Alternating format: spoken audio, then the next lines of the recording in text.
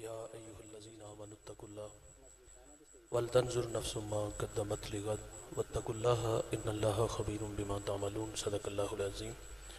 पढ़िए सलातु वस्सलामु अलैका या रसूल अल्लाह व अला आलिका व अस्हाबिका या सैयदी या हबीब अल्लाह सना के बाद इज़्ज़त व तकरीम के लायक जलवा फिराज मुक्तदर व मोहतशम हाजरीन अस्सलामु अलैकुम व रहमतुल्लाह सूरह हशर के आखिरी रकू से एक आय नूर, तिलावत करने का शरफ हासिल किया। दुआ है अल्लाह हक बयान करने की तोफ़ी अता फरमाए। काबिल अमल बातों पर हम सबको अमल करके ज़िंदगी की राहों को दुरुस्त करने की तोफ़ी अदा फरमाए। इरशाद वारी ताला है लो तकवा इख्तियार करो। वल तंजुर नफ्सुम्मा कद्दमत लिगत, और आने वाले कल के लिए आगे क्या भेजा है? वत्तकुल्लाह, तकवा इख्तियार करो। अल्लाह ताला ने यहाँ दो दफ़ा ताकीद के साथ तकवे का तस्करा किया है। कुरान मजीद में सादा सा करें भाई, पचपन मुकामात पर हमसे इस बात का तकाजा किया। कि तुम तकवे की दौलत से माला माल हो जाओ। तकवा किसे कहते हैं? उलमा की मुख्तलिफ़ आरा हैं। बाज़ फरमाते हैं कि तकवा यह है कि जहाँ मालिक ने बंदे को हाजिर होने का हुक्म दिया, बंदा वहाँ हाजिर हो जाए। और जहाँ से उसने बंदे को गैर हाजिरी का हुक्म दिया, बंदा वहाँ से गैर हाजिर रहे। फरमाया, यह तकवा है। बाजुलामा फरमाते हैं कि तकवा यह है कि बंदे का दिल भलाई के कामों में लग जाए। कलबी रगबत नेकी की तरफ़ तकवा है। तवज्जो, दिल की तरफ़ दलाई गई है जो वजूद में मरकज़ है। नबी रहमत सल्लल्लाहु अलैहि वसल्लम फरमाते हैं, इंसान के बदन में गोश्त का एक लोथड़ा है। अगर वो दुरुस्त हो जाए तो सारा बदन दुरुस्त हो जाता है। और अगर वो बिगड़ जाए तो सारा बदन बिगड़ जाता है। फरमाया, गोश्त के उस लोथड़े का नाम दिल है। रूमी फरमाते, दिल बदस्तावर के हज अकबरस्त। अज हजारा काबा यक दिल बेहतरस्त। काबा गुजर गाहे खलील अतहरस्त। दिल गुजर गाहे जलील अकबरस्त। रूमी फरमाते, साहिब, अपने दिल को अपने कंट्रोल में लिया ये जो अटकेलियाँ करता है, फरमाया, बड़ा हज है। दिल कंट्रोल में हो तो अजमत हज़ार काबों से बढ़ जाती है। क्यों? इसलिए कि काबा अल्लाह की खलील की गुजरगाह है, लेकिन जो दिल है वो रब जलील की गुजरगाह है। मेरे हज़रत अपने गदाज लहजे में फरमाया करते हैं कि मेरे बच्चों, ज़िंदगी का वजीफा बना लो उठ दी बहदी टुरदी फिरदी, सुत्तियाँ आते जाग दी नाम जपदी रो ते खपदी, वेह सुर इस राग दी, नाम जपिया, कुर्ब मिलदा, नाम दी, कर पूरी साम, शीशी विच कस्तूरी जेकर फिर ज़रूरत काग दी तकवा यह है कि दिल नेकी के कामों में लग जाए। बाज ने लिखा, गुनाहों से नफरत का नाम तकवा है।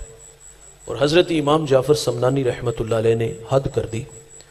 आप फरमाते हैं कि तकवा यह है कि बंदा नेकी करने के बावजूद लम्हा लम्हा अपने मालिक से डरता रहे। पता नहीं उसने मेरे इस अमल को कबूल भी किया है कि नहीं किया। मियाँ साहब फरमाते ना, पढ़ने उत्ते मान करी ना तो ना आखी मैं पढ़िया। ओ जब्बार कहार सदावे, मत रोड दवे दुध कड़िया। अगर कोई अमल करके नाज करेगा तो अल्लाह बेनियाज है, इबादत, सजदे, बंदे के मुँह पे मारेगा। हमें तालीम है, अमल करो और अल्लाह से डरते रहो। लेकिन हमारे रवैये बड़े तलख हैं, हम नमाज़ पढ़े ना तो बेनमाजी को ताने देते हैं। कोई मस्जिद में आ जाए तो हमें उसे टिकने भी नहीं देते हम कहते लो, सो चूहे खा के बिल्ली हजनू चली। और तेनों मस्जिद अरा किन्ने वहाया हम कहते चोर चोरी छोड़ देता, हेरा फेरी नहीं छोड़ता। जूते चुराने आए हो? भाई, हमें तो खुश होना चाहिए था कि ये मस्जिद की रौनक का सबब बना है इसकी पेशानी में सजदों का नूर आया है, आँखों पर हया के पहरे हैं, कानों में कुरान के नगमे हैं। हमें तो जगह देनी चाहिए थी, लेकिन हमने जलील करके निकाल दिया। ये हमारे रवैये हैं। तो अल्लाह को ये रवैये पसंद नहीं है। अमल करके डरते रहने को तकवा कहा गया सादी शिराजी कहते हैं कि मैं अल्लाह के घर में था और मैंने एक शख्स को देखा कि वो तवाफे काबा कर रहा है। उसके साथ उसके कुछ खुदाम हैं। जो लोगों को धक्के दे के उसके लिए रास्ता बना रहे थे। ताज्जुब हुआ कि मालिक, तेरा बंदा तेरे घर में आके मुतकबर बनाए यहाँ तो बड़े बड़े शहनशाहों के सर नदामत से झुक जाते हैं। लेकिन ये कैसा नलायक है कि यहाँ आकर भी दौलत के नशे से बाहर नहीं आ रहा। फरमाते, वो मंजर मेरी आँखों से ओझल हो गया। बड़ी अजियत हुई। खैर, फरमाते, ज़िंदगी में एक मोड़ पे मेरी उससे दोबारा मुलाकात हुई। अब के बार हरम में नहीं, बल्कि फरमाते, बगदाद की गलियाँ हैं। क्या वही शान शौकत? फरमाते, नहीं। क्या वही ठाठ बाट फरमाते नहीं? क्या उसी तरह आगे पीछे खुदाम फरमाते नहीं? आप फरमाते, मैंने उस शख्स को बगदाद की गलियों में भीख मांगते हुए देखा था। तकबर मकुन जी नहार है पिसर के रोज़े से दस दश दराई बसर। एक दिन उसी के बला गिरोगे, अगर तकबर करोगे। अमल करके डरते रहने को तकवा कहा है। भाई, आप नमाज़ पढ़ते हो अच्छा अमल है। अल्लाह तहजद भी नसीब फरमाए। एक नहीं पढ़ता तो उसको तो नमाज़ की दावत देनी चाहिए थी। उसे चौंक चुबारों से खींच के अल्लाह के घर में लाना चाहिए था। आपने तबलीग नहीं की आपने किसी को खींच के मस्जिद में नहीं लाया यार। वो किसी की बात सुन के किसी की ज़ुबान से अल्लाह रसूल की बातें सुन के मन में उतरी। आपकी तबलीग से मुतासर होकर मस्जिद में नहीं आया। आ गया है इंसान की फितरत में भूल जाना है गुनाह हो जाते हैं इंसान से यार। फरिश्ता नहीं है वो इंसान है गलती इस, इससे मुमकिन है। लेकिन छोड़ दिए यार अब उसने। बुरे दोस्त छोड़ दिए चौक चुबारे छोड़ दिए शराब खाने छोड़ दिए। बंद कमरों में जो आबरू लूटता था, अब हया के पहरे हैं यार। लेकिन हमने धक्के देके मस्जिद से निकाल दिया। ये मस्जिद माशाल्लाह काफ़ी बड़ी है, लेकिन नमाज़ के वक्त यहाँ लोग एक सफ भी नहीं पूरी होती होगी, डेढ़ सफ होगी। बहुत ज़्यादा लोग भी होंगे तो ये सारी बस्ती तो मुसलमानों की है। यहाँ सब कलमा गो लोग रहते हैं यार, नमाज़ के वक्त एक सफ, डेढ़ सफ है। कोई आ गया तो इज़्ज़त दो यार। इकबाल उंदलस के करतबा मस्जिद जिसके चौदह सौ सतून है। आपकी इस बस्ती से बड़ी मस्जिद, उसे उजड़ा देखा तो इकबाल फूट फूट के रोया था कि रो रही है, आज एक टूटी हुई मीना उसे। कल तलक जिस साकी के गर्दश में पैमाने रहे, खैर तू साकी सही मगर पिलाएगा किसे? अब न मैं कश बाकी रहे, न मैं खाने रहे। इकबाल कहते वायज कौम की वो पुख्ता ख्याली न रही भर के तबाही न रही, शोला में काली न रही। रह गई रस्म अजा, रूह बेलाली न रहे। फलसफा रह गया, तलकीन गजाली न रहे। मस्जिद मरसी खां है कि नमाजी न रहे। यानी साहिब ओ साहब वो हिजाजी न रहे। वीरान है भाई अल्लाह के घर, आने वालों को इज़्ज़त दो यार, आने वालों को प्यार दो, तकरीम दो। और अगर हमारे ये रवैये हुए कि नमाज़ पढ़ के बेनमाजी के ताने दिए तो अल्लाह मुँह पे मारेगा। तकवा किसको कहते हैं? अमल करो और अल्लाह से डरो। आगे इर्शाद हाँ आइए मैं आपको मजीद उन लोगों के तस्करे सुनाता चलूँ, जिन लोगों ने खुद को अमल की राहों पर थका दिया। अमल के जज्बों से सरशार लोग थे, लेकिन वो अल्लाह से किस कदर डरने वाले थे? हमारे तो पहले ही कुछ नहीं ना, चुगली कीबत हसद की ना, क्या कुछ नहीं मन में? और हम लोगों के साथ जो रवैये इख्तियार करते चंद टगे, राही खुदा में खैरात करें, लोगों को कंजूस भी कहते हैं। नमाज़ पढ़े तो बेनमाजी के ताने भी देते हैं। हमारी गर्दनों में सरयनी गार्डर आ गए, हम तो किसी को इंसान भी नहीं ना मानते बाज रवैये ऐसे हम देखते हैं। तो आओ मैं आपको उन लोगों के तस्करे सुनाता चलूँ, जिन लोगों ने खुद को अमल की राहों पर थकाया और वल्ला से किस कदर डरने वाले थे। मैं एक शख्स को अक्सर बयान करता हूँ, वो इस उम्मत का पहला सूफी भी है, सिहाबी भी है। वो राष्ट्रू भी है, वो राष्ट्र वो भी है। वो मामलात दुनिया को सुलझाने का डब और सरीका भी जानता है। मेरे नबी उस जवान की तारीफ़ करते हैं, फरमाया मैंने जिसको भी दीन दिया, उसने तामुल से तरद से काम लिया। लेकिन फरमाया, अबू बकर, वो जवान है। मैंने इसको दीन दिया, इसने झोली में डाल लिया। इतना अजीमुल मरतबा शख्स हजूर फंड का ऐलान करते हैं। आगे बढ़ के कहते आका, माल मांगो तो माल दूँगा, जान मांगो तो लो जान मेरी, नहीं जो निकले ज़ुबान मेरी, कटा के रख दो ज़ुबान मेरी। इतना अजीम शख्स गजब तबूक के मौका पर हर एक ने अपनी अपनी इस्तेताद के मुताबिक दिया। लेकिन जब अबू बकर की बारी आती है, टाट का खिरका पहनते हैं, कांटों के तकमे लगाते हैं। हजूर की खिदमत में हाजिर हो गए। ये अदा मेरे अल्लाह को पसंद आ गई। अल्लाह ने जबरील सलाम को हुक्म दिया कि मेरे महबूब की चौखट पे हाजिर हो जाओ। लेकिन फरमाया, जाना इस तरह जिस तरह अबू बकर गए। टाट का खिरका कांटों के तकमे लगाओ। जब हजूर की खिदमत में हाजिर हुए तो हजूर जबरील से पूछते हैं, आज किस अदा में आ गए? अर्ज़ करते आज की अदा जो अबू बकर ने अपनाई है, वो अल्लाह को बड़ी पसंद आई है। इतना बड़ा शख्स इकबाल भी खैराज अकीदत पेश करता है। वो कहता है, जर्रा इश्क नबी अज हक तलब, सोज सिद्दीक अली अज हक तलब। रूह रा जुज इश्क आराम नेस्त, इशक रोजेस्त उरा शाम नेस्त। हर के इश्क मुस्तफ़ा, सामान उस्त बहरो बरदर गोशाए दामान उस्त इकबाल कहते हैं, जवानो, अल्लाह से अगर कुछ मांगना है तो नबी के इश्क का एक जर्रा मांगो। और अगर सोज मांगना है तो अबू बकर वाला मांगो। मौला अली वाला मांगो। कभी इकबाल कहते मालिक तड़पने फड़कने की तोफीक दे। दिले मुर्तजा, सोज सिद्दीक दे। कितना बड़ा शख्स है यार। आओ जरा उनका तकवा देखिए। हाँ फरमा दे, काश कि मैं एक परिंदा होता। एक शजर से उड़ता, दूसरे की टहनी पे बैठ जाता, ताकि मैं क्यामत के हिसाब से बच जाता। कभी कहते, काश कि मैं एक सूखी हुई लकड़ी होता और लोग उसको जला देते, मैं खाक का ढेर बन जाता। ये है लोग अमल करके डरने वाले। उनतालीस लोग ईमान लाए, चालीसवां जवान ईमान लाता है तो नारों की गूंज में उसका इस्तेकबाल होता है। वो जिन गलियों से गुजरता है, शैतान रास्ता बदल लेता है। आका फरमाते, मेरे बाद अगर कोई नबी होता तो ये जवान होता। तेईस लाख मुरबा मील का हाकिम है, अशरा मुबशरा में से है। ईद का दिन है और आँखें बरस रही थी। सवाल की हज़रत आज ईद का दिन है और आप रो रहे हो। तो हज़रत उमर फरमाते, ईद उसकी जिसके रोज़े कबूल हुए। जिसके कबूल नहीं ना हुए, उसके मुँह पे मारे जाएँगे। यह है तकवा। कभी बच्चों को जमा करके कहते, बच्चों, मेरे लिए दुआ किया करो कि अल्लाह मुझे माफ़ कर दे। हज़रत उमर की साँसें टूट रही थी, बेटे की गोद में सर है। फरमाया, मेरा सर ज़मीन पे रखो। अर्ज़ की, अब्बा जान, खैरियत। फरमाया, मैं अपना चेहरा मट्टी में मलना चाहता हूँ, ताकि मेरे खुदा को मेरे हाल पे रहम आ जाए। हुजैफा बिन यमान रदी अल्लाह तु ये हुजूर के राजदान है। हुजूर जो कान में बात कहते, हुजैफा के कान में कहते। और मदीना के मुनाफिकीन के नाम भी मेरे आका ने बताए हुए थे। साहबा कहते, जिस जनाजे में हुजैफा होते, हम जान जाते ये कोई मोमिन है। और जिस जनाजे में हज़रत हुजैफा ना होते, हम जान जाते ये कोई मुनाफिक है। हज़रत उमर का दौर है, और आप हुजैफा बिन यमान को फरमाते, हुजैफा, मैं तुम्हें खुदा का वास्ता दे के कहता हूँ। हुजूर ने जो तुम्हें मुनाफिकों के नाम बताए हैं, उन नामों में कहीं उमर का नाम तो नहीं आता। कितने बड़े बड़े लोग डरते हैं यार। अरे तो पल्ले कुछ नहीं। हज़रत हंजला हुजूर की खिदमत में हाजिर है और घबराए हुए हैं और अर्ज़ करते आका हंजला मुनाफिक हो गया। किसी की शिकायत लेके नहीं आए भाई। हम तो जहाँ दस बंदे बैठ हैं, पगड़ियाँ उछालते हम हम जहाँ दस लोग बैठ जाए तो दूसरे की जात पे तबसरा करते हैं। फला बिदती हो गया, फला मुनाफिक हो गया, फला काफिर हो गया। वो हुजूर की खिदमत में किसी की शिकायत लेके नहीं गए।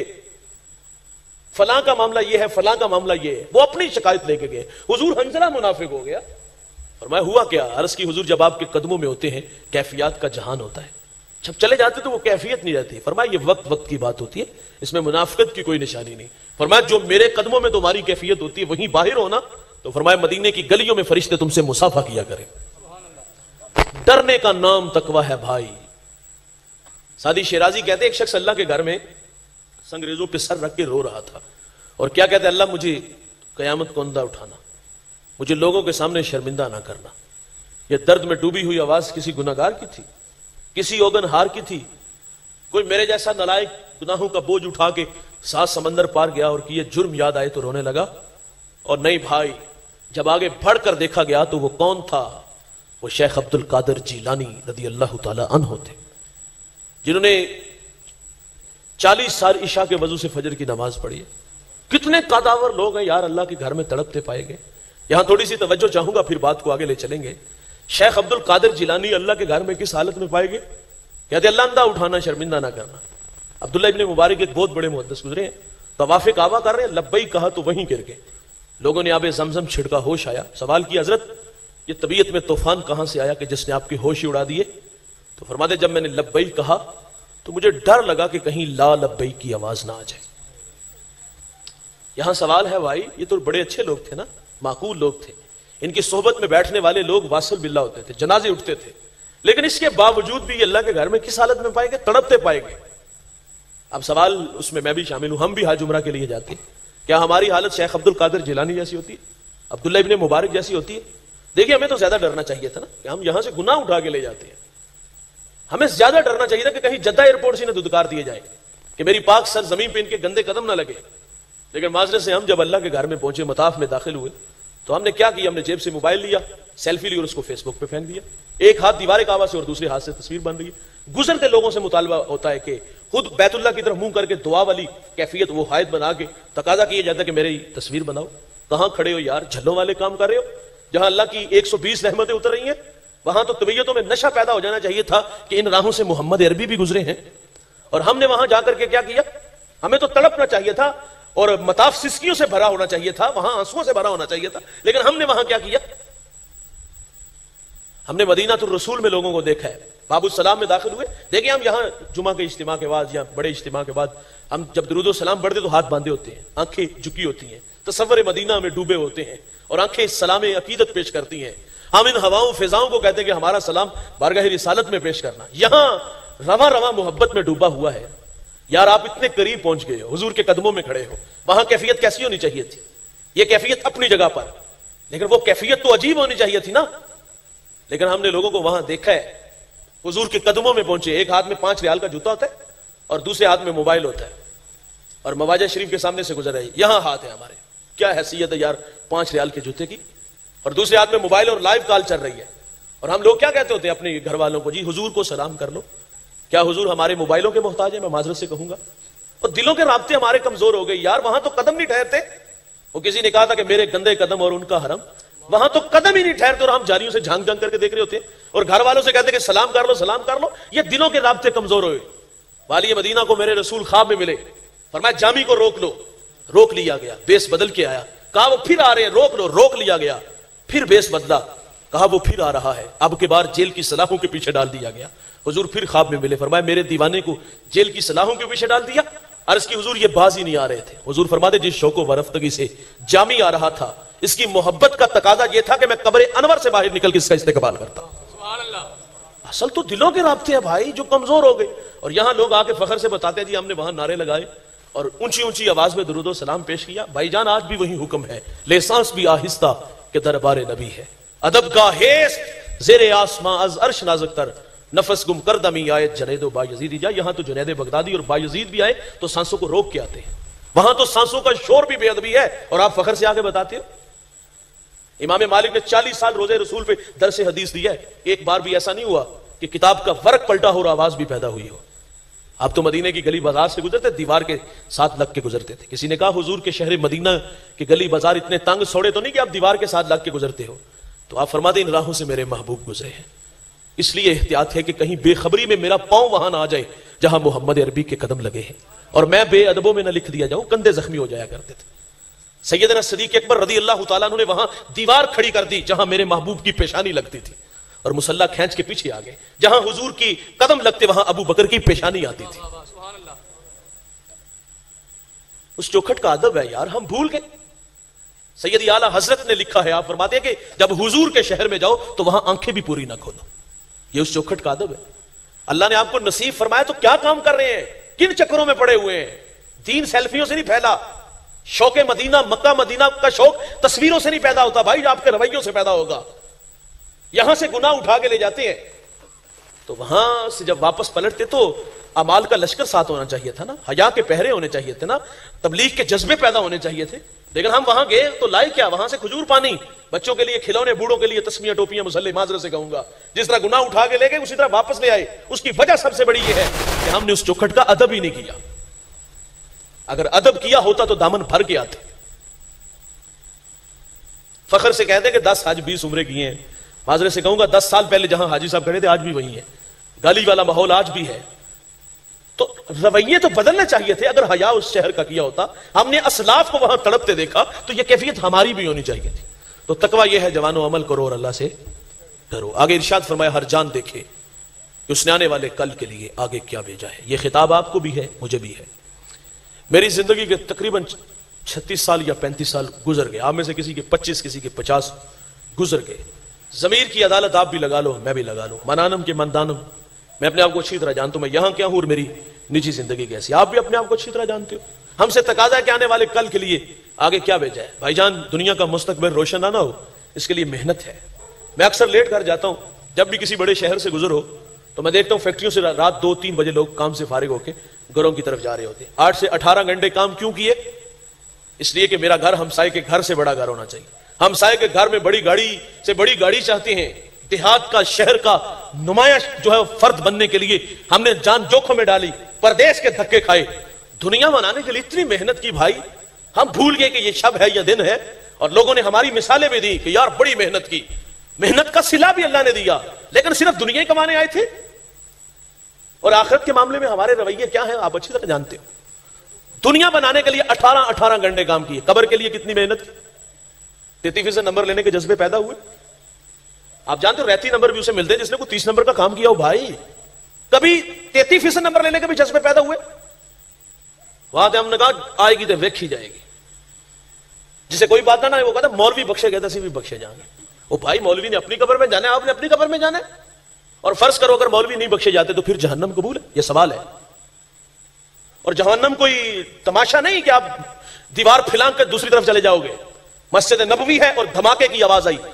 फरमाया साहबा जानते हो ये आवाज़ कैसी अर्ज़ किया का इरशाद फरमाइए। फरमाया सत्तर साल पहले जहन्नम में एक पत्थर फेंका गया। आज उसकी गहराई में पहुँचा।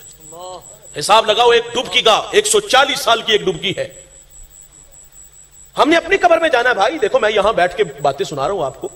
आप समझे हाजी सनाउल्ला बना बैठा है बड़ा परहेजगार बन के दिखा रहा है और बड़ा वाइज बना है। यार मेरा रवैया और अगर मेरा किरदार ठीक नहीं होगा तो कबर में मुझे भी सवाल होंगे। उसकी सजा का मुस्तहक मैं भी ठहरूँगा अगर मेरा अमल नहीं ठीक होगा। शादी कहते नसीहत दीवार पे लिखी हो ना, बहुत अच्छी है, वो कबूल नहीं करती। ना करे आप कबूल कर लो। अंधे के हाथ में चराग हो, चराग का काम क्या है? रास्ता दिखाना, रोशनी देना। वो इस्तेफादा नहीं करता, ना करे आप कर लो, भाई। हमने कभी मौलवी को सामने ला के खड़ा किया, कभी पीर को सामने ला के खड़ा किया। और हमारी बर्बादी का सबसे बड़ा सबब भी यही है ना, कि हमने उलमा से अपना रबता कमज़ोर कर लिया। मैं माजरत से कहूँगा, हजूर ने फरमाया था कि जब लोग उलमा से दूर होंगे तो तीन आजमाइशों में मुबतला होंगे। रिस्क से बरकत उठा ली जाएगी। और उसमें एक फरमाया था कि यह भी डर होगा कहीं बगैर बगैर ईमान किसी ने दुनिया से रुखसत हो जाए। आज ओलामा की मजारत सुजड़ी हुई है, चौंक चुबारे फटे, ये आबाद हैं। अच्छे लोग भी इस धरती पे हैं भाई। माना कि चाय की प्याली पे दीन बेचने वाले भी लोग हैं।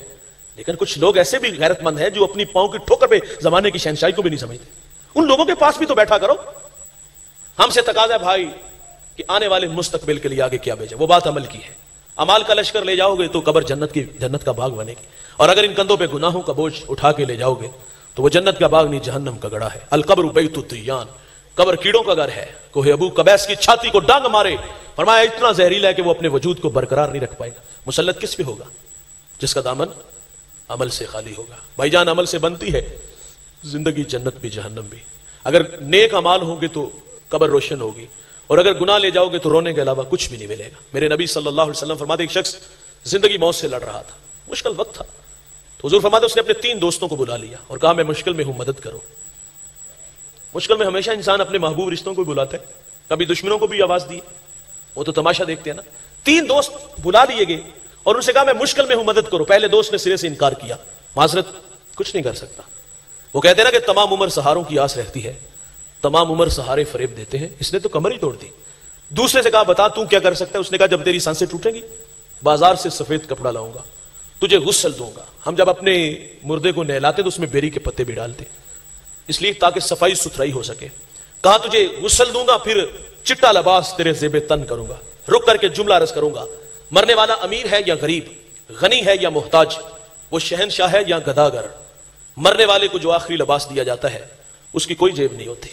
हमारा जब कोई अज़ीज़ दुनिया से जाता है तो हम चांदी का छल्ला उतार लेते उसकी जेब से पैसे भी निकाल लेते कबर में उतार के वापस आए तो पहला काम क्या किया? वालिद के कपड़े सदका किए। वालिद की चारपाई भी सदका की। क्यों? अब हमें डर लगने लगा कि वालिद के कपड़े पहनेंगे तो कहीं मौत का फरिश्ता ना आ जाए। चारपाई पे लेटेंगे तो कहीं मौत ना घेर ले। ओ प्यारे भाइयों, हमने बाप के कपड़े, बाप की चारपाई सदका की और बाप की दौलत में साम बन के बैठ के उसे भी तो सदका करो ना। और ये मैं आप लोगों से भी कहूँगा, भाई, हमने अपनी औलाद को सिर्फ़ दुनिया ही दी। जिनके लिए इतनी मेहनत की सुबह से शाम और शाम से सुबह तक जान जोखों में डाली। और आज ये तुम्हारी यादों से घबरा रहे हैं, तुम्हारी चारपाई से डर रहे हैं, तुम्हारी यादों को आग लगा रहे हैं। इसमें कसूर हमारा भी है। हमने अपने बच्चों को सिर्फ़ दिया तो दुनिया का दर्द दिया, दुनिया की मोहब्बत सिखाई। देखिए, जिस मैदान में आपने मेहनत की, उसका सिला मिला। आपने बच्चों को पाँच करोड़ का घर दिया, हर बेटे के लिए अलग अलग गाड़ी छोड़ी। इतनी मेहनत की, और आज मार के तो हमारी यादों से डर रहे तकाजा था कि यादों को सीने से लगा लेते कभी कभी अब्बा के कपड़े पहनते। कभी कभी उस चार पाई पे लेटते तो आँखें तो बरस पड़ती है ना। यादें तो तड़पाती है, ये तो तड़पने नहीं चाहता, ये तो तुम्हें याद ही नहीं करना चाहता। हमने इतनी मेहनत की और आज मरने के बाद हमारी यादों से भी डर रहे माजरत से कहूँगा, भाई, काश के अपने बच्चों को हमने वक्त दिया होता, काश के अपने बच्चों की अच्छी तामीर की होती अच्छा इंसान बनाया होता, अपना भी प्यार सिखाया होता, हमने अपना नहीं, अपने दौलत का प्यार सिखाया, सीने से लगाया। और अपनी मोहब्बत अगर होती तो आज बच्चे तुम्हारी यादों को घर से निकालते। आज हमारे बच्चे हमारे कंट्रोल में नहीं, हमारी बात नहीं मानते। हमारे फर्मा बरदार नहीं उसकी सबसे बड़ी वजह यह है कि हमारा बच्चों से रबता ही नहीं है। हम तो आठ घंटे मजदूरी करके जब घर आते हैं ना, दो घंटे मिलते हैं नींद से पहले। वो हम मोबाइल के ध्यान लग जाते और मोबाइल को सराने के नीचे दबाओ और अपने बच्चों के साथ वक्त गुजारो, जिस टीचर रोज़ाना की बुनियाद पर एक नया सबक लेके आता है, आप रोज़ाना की बुनियाद पर अपने बच्चों को छादब सिखाओ। उन्हें रसूलुल्लाह की तालीमत सिखाओ। लेकिन हमने ना सिखाया और नतीजा था ये बच्चे हमारे हाथों से निकल गए। मुझे वो एक बहुत बड़े खानदान का बेटा याद आया। उसके बिगड़े हालात पे किसी ने सवाल किया कि हज़रत, जान की अमान चाहूँगा। आपके वालद की शख्सियत से बड़े लोग फैजयाब हुए और आपके घर में चश्मा बह रहा था और आप महरूम है, इसकी वजह? तो उसने बड़ी खूबसूरत बात की। उसने कहा, हमारे साथ हादसा हुआ है। कहा, बताना पसंद करेंगे। कहा, हादसा यह हुआ है कि जो वक्त हमारा था ना, वो वक्त भी आप लोग ले गए तो फिर हमने यही कुछ बनना है। अशफाक अहमद से किसी ने कहा था कि बड़े लोगों के बच्चे बड़े क्यों नहीं होते? तो आपने फरमाया था, बड़े लोगों के बच्चे यतीम होते हैं। बाप के होते हुए भी बाप की शफ्त नसीब नहीं, बाप के होते हुए भी बाप का कुरब नसीब नहीं तो यतीमी नहीं तो और क्या है? हम बच्चों को वक्त नहीं देंगे तो ये बच्चे हमारे हाथों से निकलेंगे, हमारी यादों से भी डरेंगे। तो कहा, वो चिट्टा लबास तेरे जेबे तन करूँगा, तेरे लाशे को अपने नातवा कंधों पे उठाऊँगा, तुझे मना मन मट्टी के नीचे छोड़ के उसमें आंसुओं का छिड़काव करके लौट आऊँगा। मेरे रसूल फरमाते, उसने तीसरे दोस्त से कहा, बता, इस मुश्किल वक्त में तू मेरी क्या मदद करेगा? तो तीसरे दोस्त ने कहा, घबराओ नहीं मैं तुम्हारी कबर के अंदर तुम्हारे साथ उतर जाऊँगा। दोस्तों, दोस्त वही होते हैं जो मुश्किल और आड़े वक्त काम आए। मुश्किल में दुम दबा के भाग जाने वाले दोस्त नहीं होते। आका फरमाते, जानते हो साहबा, वो तीन दोस्त कौन थे? अरस की अल्लाह और उसका रसूल बेहतर जानता है। अब हमारी रहनुमाई फरमाइए। फरमाया पहला दोस्त जिसने सिरे से इनकार किया फरमाया वो उसकी दौलत थी। मालो सर था। जब तक सांसों का शोर, ये डोर सलामत है, दौड़ती गाड़ियाँ, फलक बोस, अमारते, बंगले, प्लाजे, ये सब साथ साथ चलते हैं। लेकिन जब सांसों का कमज़ोर रिश्ता टूटता है तो हम देखते हैं कि दुनिया का माल दुनिया पे रह जाता है। मुस्लिम के लफ्ज आका फरमाते इब्ने आदम कहता है, मेरा माल मेरा माल। फरमाया तेरा वो है जो तूने खाया, जाया किया, पहना, बुसीदा किया, सदका किया, आगे भेजा। बाकी तो फरमाया, तू लोगों के लिए छोड़ के जाने वाला है। गालिबन गौस आज़म ने लिखा है, आप फरमाते हो, नकम्मे कमाएगा तू, बनाएगा तू।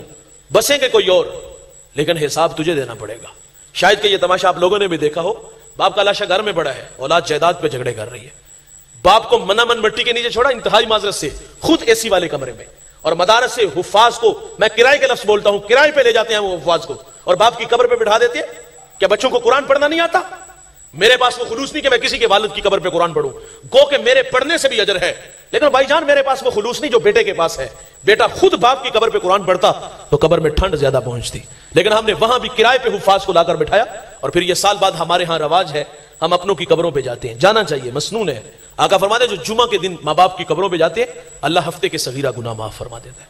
सगीरा माफ़ होते हैं, कबीरा तोबा से होते हैं। ये जो इसाले सवाब होते हैं, ये रहती नंबर है। हमने साल बाद सादतमंद भी देखे बद नसीब भी देखे। सादतमंद हर जुमा को बद नसीब सिर्फ़ साल में एक बार। दोस्तों, मुझे बताइएगा क्या साल में तेज हवाई नहीं आती? आती है। और वो मट्टी की चादर उड़ा के ले जाती है। क्या बारिश नहीं बरसती? बरसती है। मट्टी का निशान बेटा देती है। साल बाद नलायक, नकम्मे बेटे कब्रिस्तान में माँ बाप की कब्रों को ढूंढ रहे हैं। बिस्यार कोशिश के बावजूद जब नाना मिली तो फिर मोहल्लेदारों से कहते चचा यहाँ मेरे वालद की कबर थी। ओ पुत्र, वो तो हवाओं की दोष पे उड़ गई। यहाँ मेरी माँ की कबर थी। वो तो बारिश का पानी बहा के ले गया। मियाँ साहब फरमाते, जांदी वारी डरावना बनया, हाथ न लांदे डर दे। जिन्ना ली तू पाप कमाए किथे नहीं तेरे कर दे? और ये तो कब्रों के निशानों को भी भूल जाते हैं। फरमाया, तू कमाएगा, तू बनाएगा, बसेंगे कोई और, लेकिन हिसाब तुझे देना पड़ेगा। पहला दोस्त जिसने सिरे से इनकार किया मेरे रसूल फरमाते उसकी दौलत थी मालो जर था। आका फरमाते, जो चंद कदम साथ चले, मट्टी डाल के लौट आए साहबा, जानते हो वो कौन थे? अर्ज़ की आका इर्शाद फरमाइए। फरमाया, वो उसके मिलने वाले थे। अज्जा वक्रेबा थे।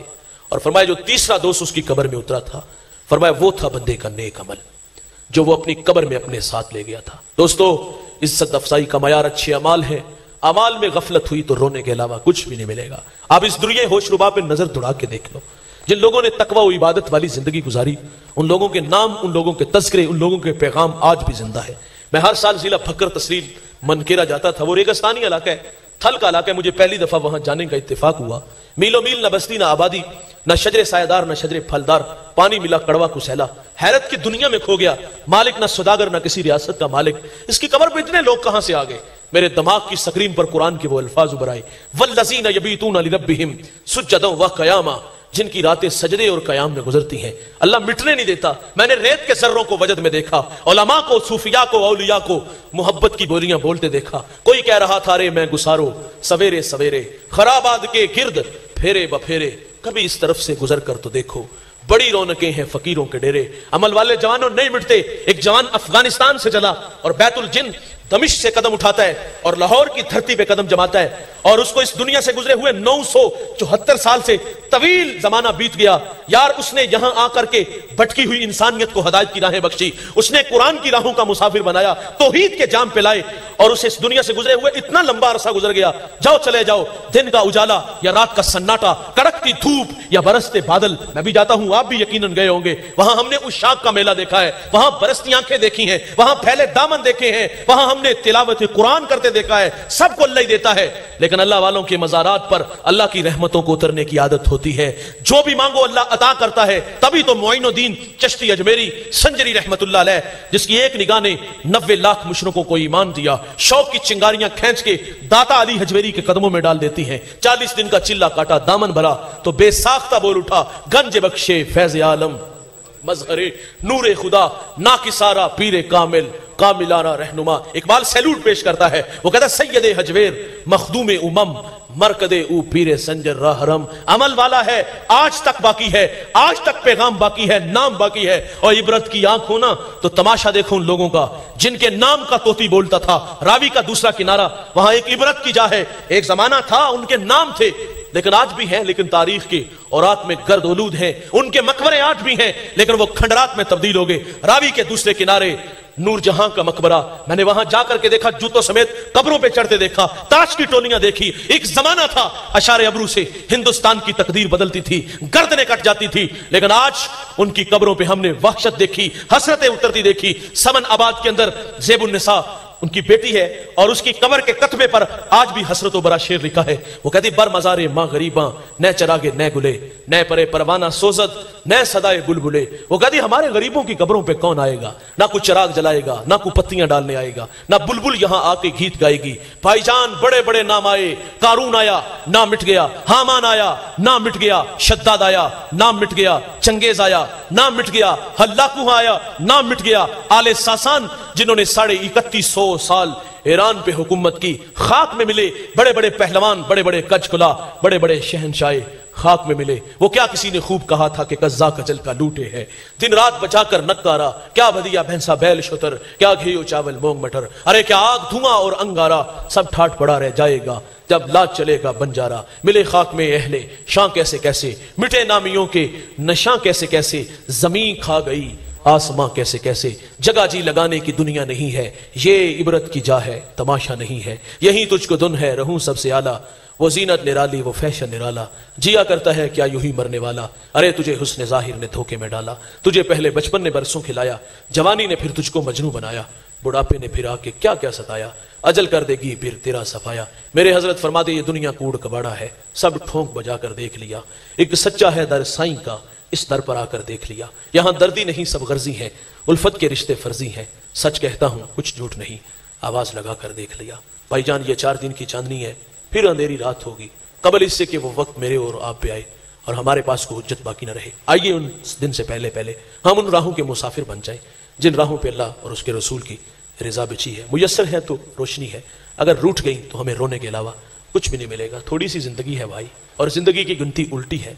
और हम समझते हैं कि हम बड़े हो रहे हैं। जब गिनती उल्टी शुरू हो जाए तो नतीजा ज़ीरो पे जल्दी आ जाता है। हम बड़े नहीं, हम दिन ब दिन छोटे हो रहे हैं। इस दुनिया में साहिबाने की तरतीब है, पहले वालिद, बाद में बेटा। लेकिन यहाँ से जाने की कोई तरतीब नहीं। लंबी लाइन लगी है, उसमें आप भी खड़े हो, मैं भी खड़ा हूँ। मेरी बारी न जाने कब आ जाए, आपकी कब आ जाए। कोई खबर नहीं। सौ साल भी जिएँगे तो बिलाखर मरेंगे। क्योंकि मौत से किसी को भी रुस्तगारी नहीं है। कई बार ऐसा हुआ दोस्त दोस्त से वादा करके गया कि एक घंटे बाद दोबारा मुलाकात करते हैं। लेकिन ठीक आधे घंटे बाद उसी मोहल्ले की जामिया मस्जिद से उसके मरने की खबर मिलती है। कानों का धोखा लगा कि इतना भी बेवफा नहीं कि दुनिया ही छोड़ देगा। जब वेड़े तक पहुँचे तो वहाँ सफे मातम बिछा हुआ था। वो वक्त आने वाला है, भाई हम नहीं होंगे। चंद दिन यादों के चिराग फिर हमेशा के लिए भुला दिए जाएँगे। अगर ज़िंदगी का लम्हा लम्हा अल्लाह और उसके रसूल के लिए वक्फ हुआ, न कब्रें पुरानी होंगी, न अकीदत के फूल महँगे होंगे। नाम ज़िंदा, पैगाम ज़िंदा रहेंगे। आइए मैं और आप उन राहों के मुसाफिर बने, जिन राहों पर अल्लाह रसूल की रजा बिछी है। अल्लाह से दुआ है, जो कहा सुना, हम सबको अमल की तोफ़ी कता फरमाए।